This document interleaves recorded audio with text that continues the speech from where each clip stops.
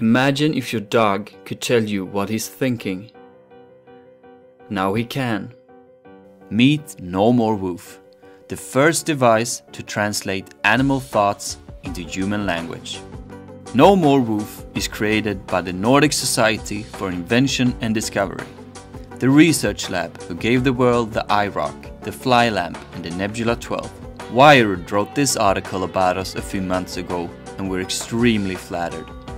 Well, it's really not that complicated as it might seem. It's just the use of existing technologies, but in a new area. And here it is, the No More Woof.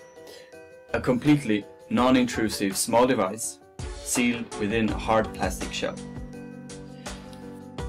These small sensors here are EEG recorders. They register the voltage fluctuations resulting from the ionic current flow within the dog's brain. I'm sorry, it's a bit of. But anyway, these swarms of frequencies are then picked up by this microcomputer, in this case the Raspberry Pi, that analyzes them. Well, let me show you. Pajas, Pajas, come Gubben. Hey, hey. Sit, sit, sit. For the last six months, we've been experimenting with EEG sensors, processors, and computing devices until we finally started to be able to recognize certain thought patterns, like Who are you?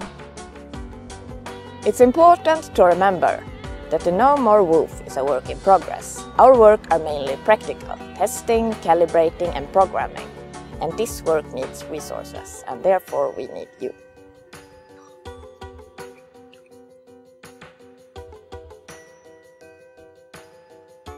The electrodes here are strategically placed around the scalp of the dog.